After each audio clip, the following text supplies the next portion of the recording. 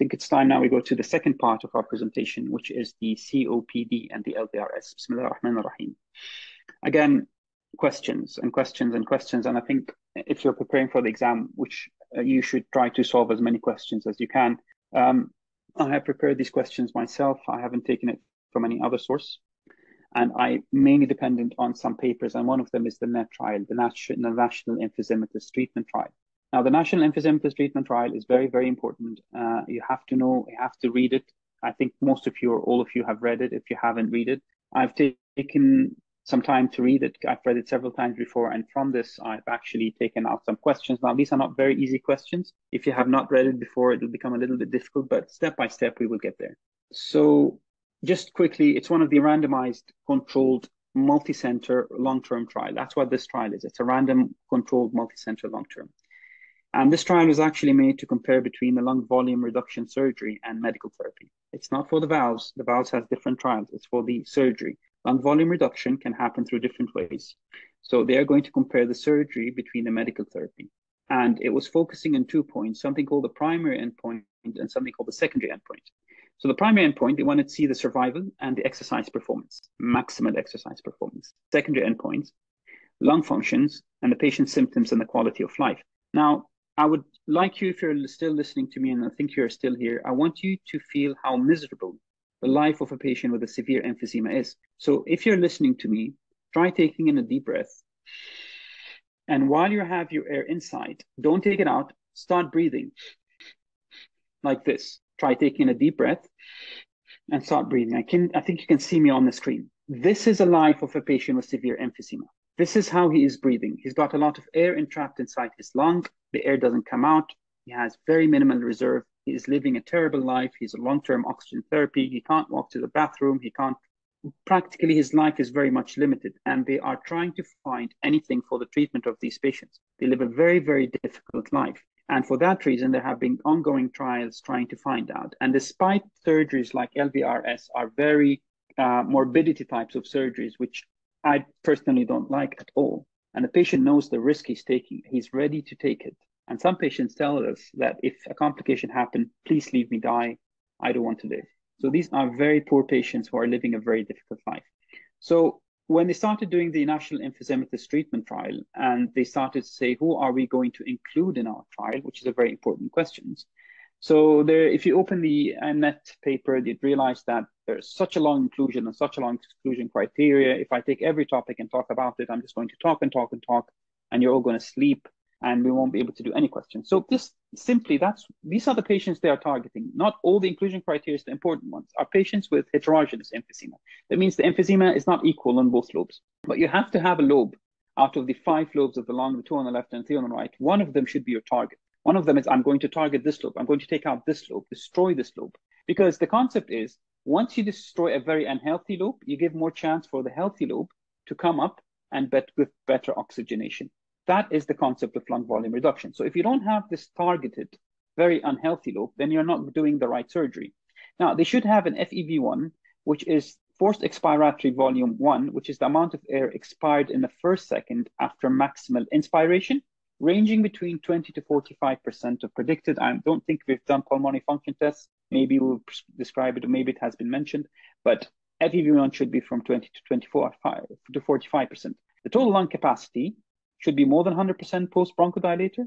The residual volume, which is the volume of air remaining in the lung after maximal expiration. And please, I do talk fast, so if you see me talking fast, tell me to slow down a bit. Should be more than 150% predicted post bronchodilator. The PaCO2 should be less than 60. The PaO2 should be less than 45, and that is on room air.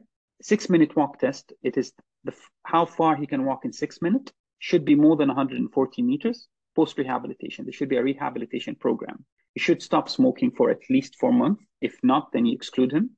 And he should complete a pulmonary rehabilitation program, breathing exercises, which we have a team that is actually responsible for this. Once he continues all these criteria and he falls into this criteria, then we could actually discuss surgery. Now, I will start asking questions. They are a bit difficult if you haven't read it, but let's go through them one by one and hopefully we can like um, come up with, with good results from this presentation. So question one, and I'm going to be very slow when talking. With regards to the National Emphysematous Treatment Trial, the overall mortality between the LVRS group and the medical group was higher on the LVRS group, higher in the medical group, similar in both groups. In other words, it's a randomized trial. People were randomized into those going for surgery, those going for medical treatment. The overall mortality was higher in which group? And the answer is three. Actually, the mortality was similar in both groups. Initially, the patients who did the LVRS had a higher mortality compared to the medical group. But then, after about two years, they realized that the rate of mortality became equal on both groups. Okay, so the initial was higher on the LVRS group, which is the first 30 day mortality, but then it started to become equal in both groups. And if we look at this, this is a 29.3 month follow up. And remember when I started my presentation, I said it's a multi center long term trial. It's a long term trial. So if you look at the present three graphs here, you've got patients um, classified into high and non-high risk patients. We will talk about this in details. And then all patients. Look at the, just look at the one showing the all patients A, and you've got months after randomization, uh, randomization, and the probability of death. And remember, you've got a black line, which is the medical, and you've got a gray line, which is the surgical. Now you'd realize that on the first few months, the rate of mortality was much higher. Well, yeah, it was higher on the surgical compared to the medical. But then after about 29.3 months, you'd realize that they both became the same. And then actually the surgery was lower than the medical treatment. So the first, the mortality was high, and then it started to become equal. I hope that is clear. Now, this is an interesting question. What was the performance test used in the NET trial? We have performance tests we use to check the patient's respiratory function and performance. What test do we use? Was it the incremental shuttle test? You should know what a shuttle test is. That is two shuttles about 10 meters apart, and then the patient goes and comes and goes and comes, and you see how far he can go, and it has to be incremental. The term increment, incremental means that he increases the pace and the speed. Was it an incremental test? Was it a six minute walk test? That is how far he can walk in six minutes, or the cardiopulmonary exercise testing, which is the advanced type of testing that is, I, I don't know if it was actually present during that time, but it's not easy. It's not found in every center. And the result is the six minute walk test. So the exercise performance test they used in that trial was the six minute walk test to give them an idea about how fit and well this patient is. And he had to go more than 140 meters. Now, do we know other examples of exercise performance tests? Yes, we do. I just said them, like the incremental and the CPET test. And they measure the performance in watts. So this is the unit they measure in watts. But they just the, because you see, in, in this NET trial, they wanted to see whether the patient actually improved after the surgery. So how would they do that? Well, one way is to ask him to walk for six minutes and see if he can walk for a further distance after the procedure. That is one way of doing it, and, and that is the incremental test, the, sorry, the six-minute walk test. They've also used something called the St. George Respiratory Questionnaire, a questionnaire that was handed to the patient before and after treatment. And this questionnaire is made up of 100 points. And if you just look at the bottom, a total score incorporates scores. So if the uh, so if you go through it, designed to measure health impairment in patients, it consists of 50 items that surveys the patient's recollection of their symptoms, the disturbance in their physical activities, the psychological dysfunction, are different items, and they give them score.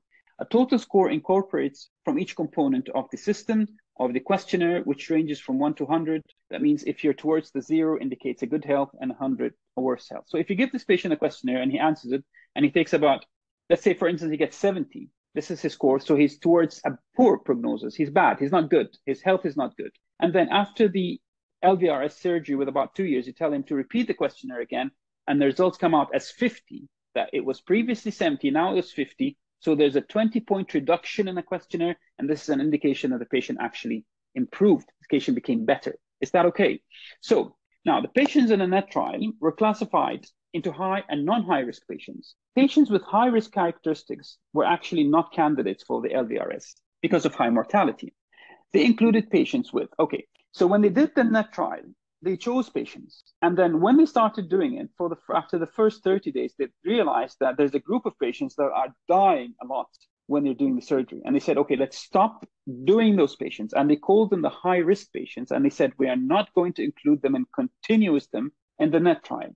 Now, these patients that they had to stop um, the continuing of the NET trial and the LVRS surgeries on them were any patient with an FEV1 of less than 20 and the transfer factor less than 20%, or a patient less than 20 with homogeneous emphysema. What I'm trying to say is when they started doing this trial, It was randomized. And then they realized that there's a group of patients that are really dying a lot. And they said, let's not operate on them, we're killing them. And these were these group of patients, especially homogeneous. Remember homogeneous. Homogeneous emphysema, very bad for LVRS. If you don't have a targeted, destroyed heterogeneous lobe, the concept of a homogeneous emphysema is a very bad, very, very bad character, and I wouldn't proceed for LVRS for them. And what was the 30 day mortality in this group? 16% of the patients died in 30 days, and they called them the high risk patient. They said, We're not going to continue on them, compared to 2.2% in the non high risk and 0.2% with the medical treatment. And the cutoff point was 8%.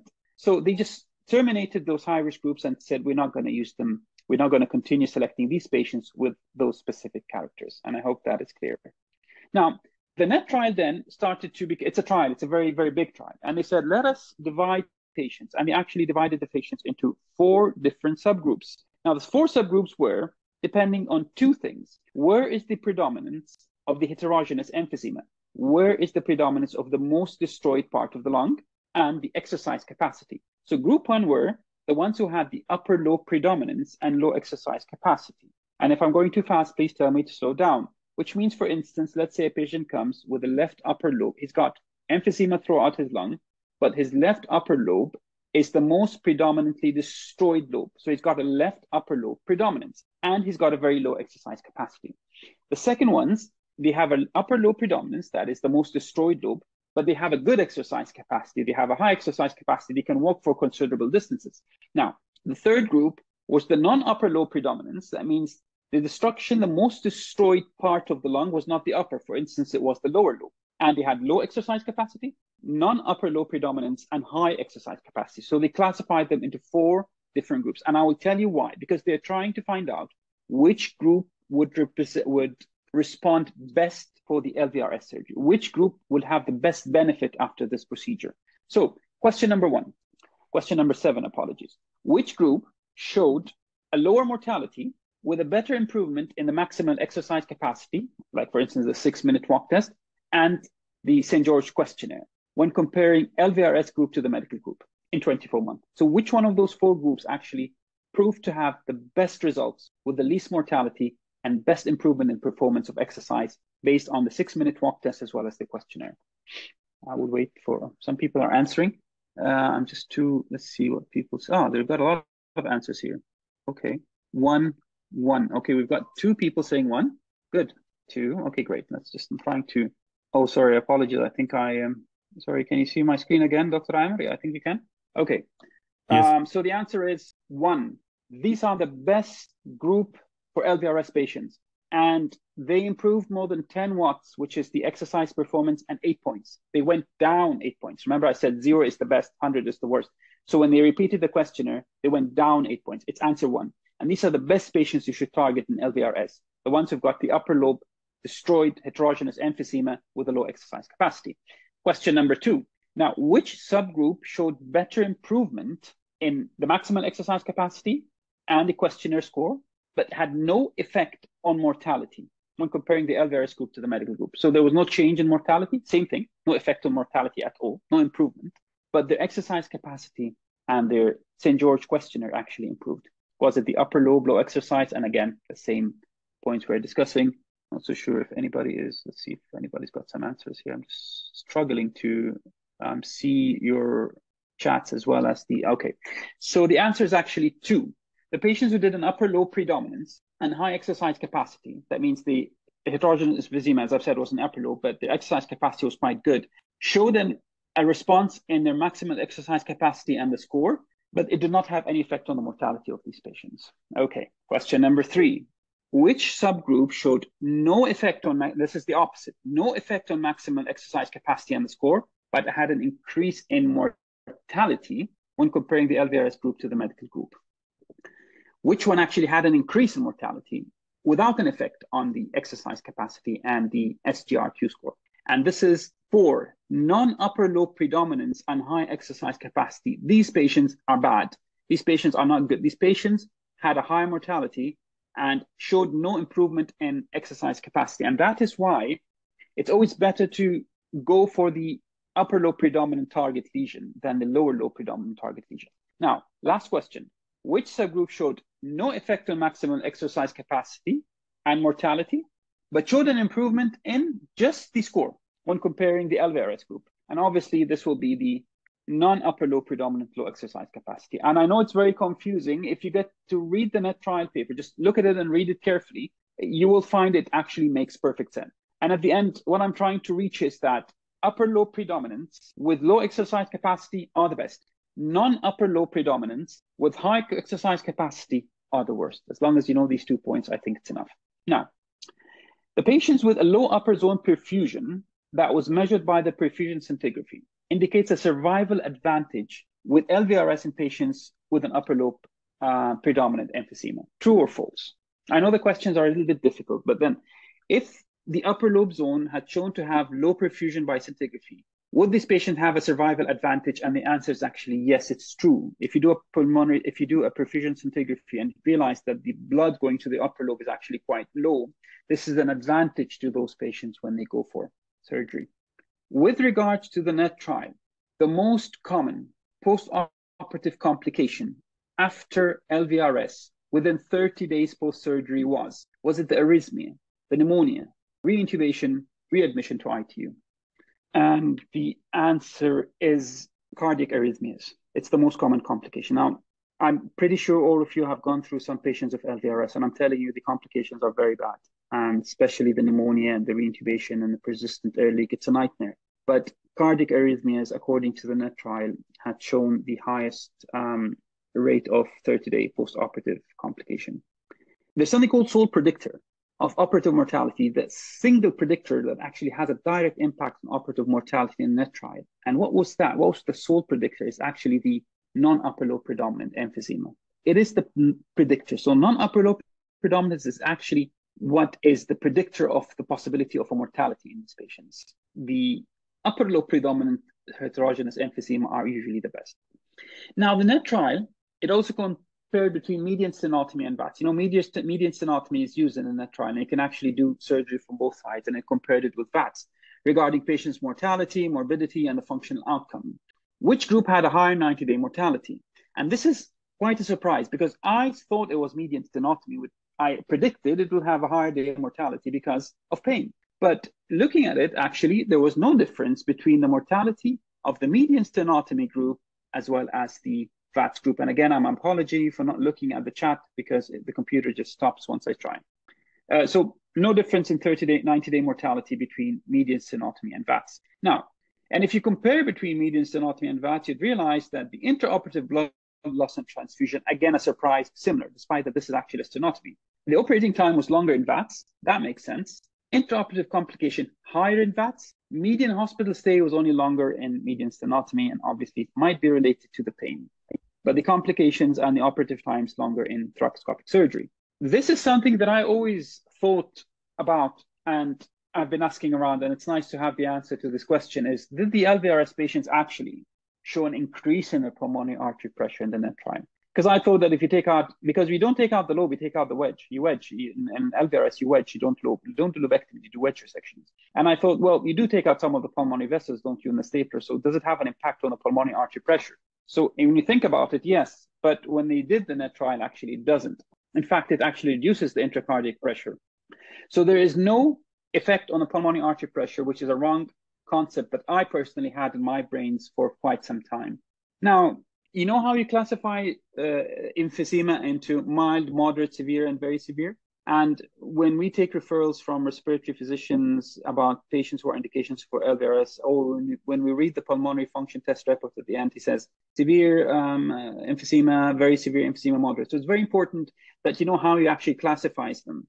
So according to the NICE guidelines, and I'm using NICE guidelines here, a patient with an FEV1 of 35% and an FEV1 over an FVC of less than 0.7%. So he's got an FEV1 of 35. What would you classify him? I, I mean, a simple exam question. Would it be mild, moderate, severe, or very severe? Again, if I'm going fast, please just stop me and I'll slow down. And if he's got an FEV1 of 35 with an FEV1 over FVC of less than 0.7, the answer would be severe airway obstruction. Okay, it's a bit confusing. Yeah, we can actually look at this table. That is the grading of severity of airway obstruction I think this is recorded, so I won't go through it again because it's going to take some time. Uh, anybody wants to take a screenshot, take a picture of it, look at the NICE guidelines, the gold severity of the NICE guidelines, of 2004, 2010, there's something called gold, which is the guidelines to use for classification of emphysema. Look at them and then memorize them so that if it comes in an exam question, you'll be able to define it. Um, this is a how do I, I, put this question in, and to be honest, I wasn't sure whether I would put that question or not. But let's see. Um, the COMBIVENT trial is a trial that randomly assigned 534 patients with COPD to relieve the albuterol, beta 2, ipratropium antimuscarinics, or the combination. So remember when we uh, when we prescribe nebulizers for the patients, especially when they are on when they go home with them, should, should we do the beta 2 agonists or the antimuscarinics, or should we actually combine them together? So the combination therapy, when they put them both together, did it have no effect on the peak FEV1 with reduction on exacerbation? You know, COPD patients, they have in the UK something called a rescue pack. They go home with a rescue pack. It's an antibiotics and steroids. They keep them in the house. And once they get an exacerbation of the COPD, they automatically take their antibiotics and they take their steroids. So they wanted to see whether or not we should give both groups of uh, bronchodilators, and if we combine them together, does it actually have an effect on the forced expiratory volume in the first second? And what about the exacerbation of the COPD? So no effect on the mean peak FEV1 with reduction on exacerbation. No, it has no effect on the mean peak FEV1 with on the peak FEV1 with no effect on exacerbation. Increasing the mean peak FEV1 with reduction or does it actually increase the peak FEV1 with no effect in exacerbation? I know it's a bit of a medical question, but I thought that it's important that we have an idea about this because you see those patients and we ask them about their medications. So they actually found out that when we combine the both the medications, the bronchodilators, it actually resulted in an improvement in the forced expiratory volume in the first second, and it had um, no effect on exacerbation. So it has nothing to do with the fact that he gets recurrent chest infection but it definitely has an effect on his FEV1. Now, this is important, and I, really would like you to concentrate on this question because there are two studies, two landmark studies for hypoxemia and COPD. You know, the COPD patients, they have the long-term oxygen therapy. Sometimes they come with the tank in the hospital. So this is not empirical. This is not just something that they thought about. This is actually based on studies. And in treating hypoxemia, something called the UK Medical Research Council, the MRC, and the US Nocturnal Oxygen Therapy Trial, the NOT. So these are two trials that have been researches to see whether these patients actually benefit if you give them long-term oxygen. So they showed that long-term oxygen therapy, when given for greater than how many hours a day, improved survival in patients with COPD and chronic hypoxemia with or without hypercapnia. So even the number of hours a patient should have his oxygen on actually had an effect on his patient survival. So how many hours are the patients actually on oxygen? 5, 10, 15, or 20? And when I asked the patient, he asked him, are you on long-term oxygen therapy? And he says, yes, I am. And then I tell him, you're taking this much hour and says, yes. So I actually know the answer of this question from the patients that I've talked to. And the answer is 15. They're always on 15 hour with the nasal cannula oxygen connected to them and they've got the tank walking with the tank or they've got the oxygen at home. And this is actually showed to improve survival. Now, um, I think I've got about 15 minutes left in this presentation and um, a couple of more questions. And I thought that I would take the chance to talk about the endobronchial valves, especially the Zephyr valves. Now, why I'm talking about this, I'm not doing an advertisement for this company. They are expensive valves, but I've worked in Oxford with some of the doctors who are very, very good in these valves, and they're doing a lot of researches on them. And in Birmingham as well, one of the our clinical lead is very much into these valves, and he is the main author of the um, ERAS, and they are very much into the valves. And I think the trend is actually going towards endobronchial valves, then LVRS surgeries. And if you look at a patient who has had an endobronchial valve and you compare him with a patient who has had a lung volume reduction surgery, trust me, the difference is huge. One patient goes home in a couple of days, the other stays in a hospital. Got a patient in a hospital now for 35 days with two and a half liter air leak that we can't do anything with, just treating him with antibiotics every now and again because he keeps on getting infections. So I don't like LVRS, but definitely, definitely, I, I love those valves because they're very effective to my point of view. And the most important thing is that even if they're not effective, they don't usually cause much harm to the patient. So the uh, Pulmonx is a big company that has actually been producing those valves and it's been doing its own researches on them. And they did these very three important papers that I think everybody should know about. And if you read the uh, FRCTS questions, key questions, things like this, you would realize that they have been mentioned. One of them is called the Liberate, one's called the Transform, and one of them is called the Impact. These three randomized trials are trials for the endobronchial valves. They're trying to see how effective they are. And they are very careful because they're not only seeing how effective they are in heterogeneous emphysema, they're actually seeing if they have a role in homogeneous emphysema. And as I've said, homogeneous emphysema is a red line when you do LVRS surgeries. If you don't have a very selected target lung that you're going to wedge off and everything looks the same, do not do not do an LVRS patient because as the concept is you're trying to remove diseased lung so the healthy lung gets up and produces a better function. But if you remove a lung and they're all the same, so you're actually reducing, to think about it, you're just reducing his, his respiratory reserve because you've taken a lung that is comparatively equal to the rest of the lung. And I hope that makes sense. And if I would, I'm happy to explain that again. So what are these valves? This is the valve, very small structures. Unfortunately, they're very expensive. And I think a valve itself has cost maybe a thousand sterling, thousand pounds. And these valves, they are they're very small, and I'll sure how small they are now. They've got this membrane, and then they've got the retainer, they've got a valve protector, and they've got this very small valve inside, and I'll show you what it is. So they are deployed. So you've got this very small catheter that goes into the flexible bronchoscopy inside your airway, and then you deploy them, and then they open. Like for instance, apologies, um, uh, like for instance, this one. See how it, it just goes in, and then it deploys, and it sits at the uh, beginning of the segmental bronchus. And what is the concept of these valves? These valves allow air to go from inside the lung to outside, but does not allow air to go from outside to inside. So air will go from the distal and out. It'll be, see this white line here? Air is being pushed out. Okay, but air cannot go in. So it's a unidirectional valve. And at the same time, the mucus produced by the glands inside can actually go out. So mucus goes out, air goes out, nothing goes in. And so the lobe starts to collapse. And when the lobe starts to collapse, the ipsilateral lobe on the same side, which is supposed to be more healthy, starts to get bigger. And then the lung functions of the patient improve. And that is the concept. But to be able to do this, and let's, for instance, talk about the left lung, which has an upper lobe and a lower lobe. And we all know that between them, there's a fissure. Now, the fissure sometimes is complete if you've done lobectomies before, which is very good. And sometimes it's incomplete and stuck. So if I'm trying to remove all the air from the left upper lobe by the valves, I have to make sure that the left upper lobe is not communicating with the left lower lobe. Because if both lobes are communicating, it only means that there's a collateral circulation, ventilation from the left lower to the upper. So if I block air, stop air from going into the left upper lobe, it's a good job. The valves will be very functional. But if the left upper lobe is being ventilated from the left lower lobe, then I'm practically doing nothing because air will still go to the left upper lobe from the bottom. And that is what we call as collateral ventilation. And for this reason, we do something called Chartis. Chartis is a device which contains this very small catheter. Can you see that?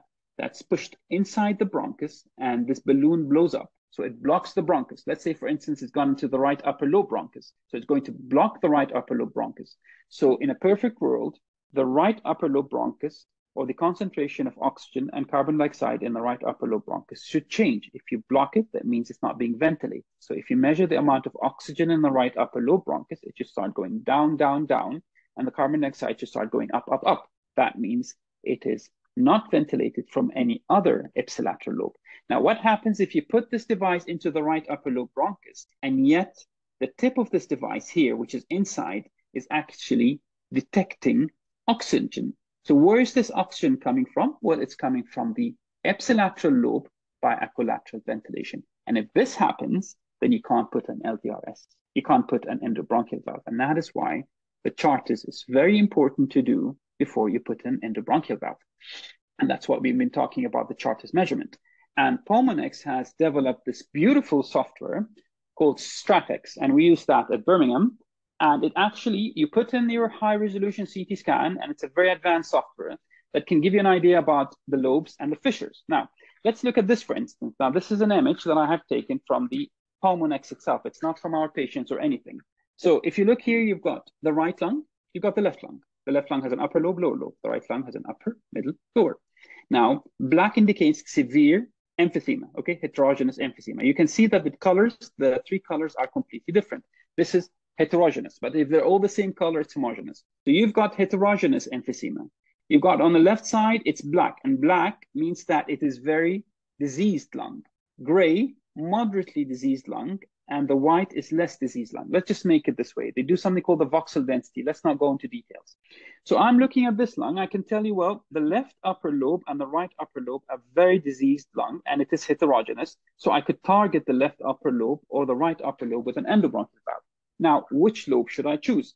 Okay, let's look on the right side. Can you see those dotted gray lines here and then the, the straight gray line? That means these fissures are incomplete. That means the right lower lobe could actually cause ventilation to the upper, and the middle lobe could cause ventilation to the upper. So if I block this upper lobe with a valve, collateral ventilation will come from here, collateral ventilation will come from here, the valve will do nothing. So this right side is not good. Now let's look at the left side. The black line indicates that there's a complete fissure. That means more or less there is very, very little or no communication between the upper lobe and the lower lobe. And at the same time, the upper lobe is heterogeneous, it's very diseased. So if I target this left upper lobe, it will collapse because nothing is coming from the lower lobe. So that is the Pulmonx, that is the StratX lung report. That's the system they use to find out whether the lobes are suitable for endobronchial valves or not. Now, a couple of questions, and I think I've got 10 minutes left. I'll finish those questions and that is it. Which trial, one of those trials actually showed that there was an increase in the FEV1 more than 15% in one year. Which one of those trials? So the Liberate trial is actually a trial that was done comparing patients who had the endobronchial valves to the control group, which were medically treated. And they showed that the patients who had an endobronchial valve had an increase in their first expiratory volume in uh, more than 15%. For instance, it started at 30, and after one year, it was 45 and more. So it's a very, very good result for them. And this trial said that at one year post randomization, the difference between the Zephyr valves and the control group for the percentage of subjects meeting the threshold of 15 or more improved, differed significantly. So not only did it improve more than 15%, but the number of patients who had the valve compared to the medical were much higher in the valve group that actually increased more than 15%. So they did reach their target. Now, I don't know if they're biased because there are companies that are trying to sell products, but I have personally seen very good results from these valves. But you have to be very careful when you select the patients. You have to have an MDT. We have MDTs, we discuss the results, and we see whether those patients are suitable for valves or not. Now, there are some tricks when you use those valves. One of them is this question. While consenting the patient for an endobronchial valve, he says, Look, doctor, I have had a previous allergy to jewelry, to uh, something jewels he's wearing. And then the GP said it's a contact dermatitis. And so you, as a doctor, know that this patient is going to have an endobronchial valve, which is a day case procedure, and he should go home. Sorry, it's not a day case procedure. Apologies. He goes home in a couple of days.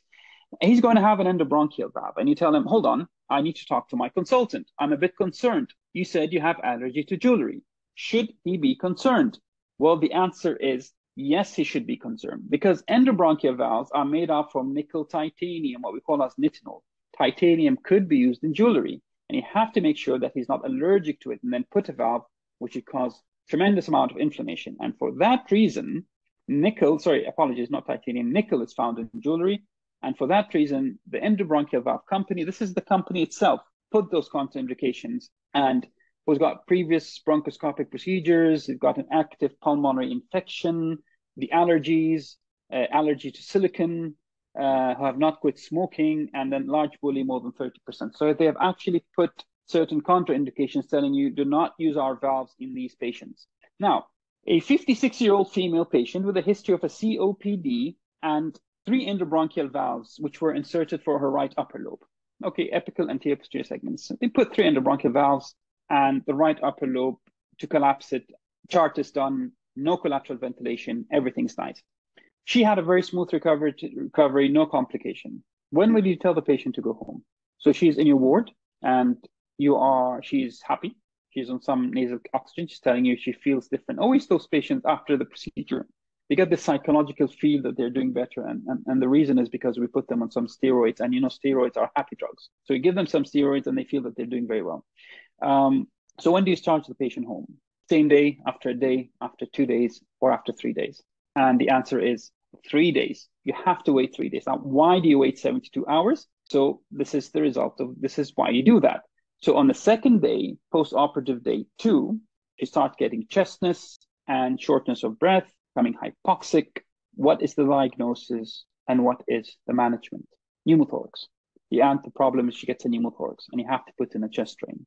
And 76% of pneumothoraces, if they're going to occur, they're going to occur in the first three days of procedure. And when you do an endobronchial valve for the patient, the problem is that when you collapse a lobe, the ipsilateral lobe on the same side will start to expand. And the expansion of the ipsilateral lobe could actually rupture. And this is the reason why they get a pneumothorax. The pneumothorax does not happen from the targeted lobe. The pneumothorax happens from the ipsilateral lobe on the same side because it starts to grow. For that reason, when you put valves, you do an x-ray after four hours in recovery. So she comes from theaters, goes to recovery. Before she goes to her ward, an x-ray is done. And then you do an x-ray for 24 hours. And once we have an endobronchial valve, our protocol is start antibiotics, start steroids, keep a drain set next to the patient. Doesn't have to be sitting next to the bed, but even in the corridor, keep a drain set ready, you tell your SHO, you tell the registrar, keep an eye on her. If she goes hypoxic or chest chestitis, respiratory distress, it's a pneumothorax, get a chest drain in. Now, one of these valves, the Liberate and the Transform and the Impact valves actually uh, was done to effect, study the efficacy of Zephyr valves in homogeneous emphysema. And I remember when I told you homogeneous emphysemas are actually not, um, uh, LVRS is not done in homogeneous emphysema, but uh, this is what they're saying. They're saying that the impact trial actually had shown um, that these valves did have good results in improvement in FEV1 and the lung function and quality of life and so on in homogeneous emphysema. Uh, probably yes.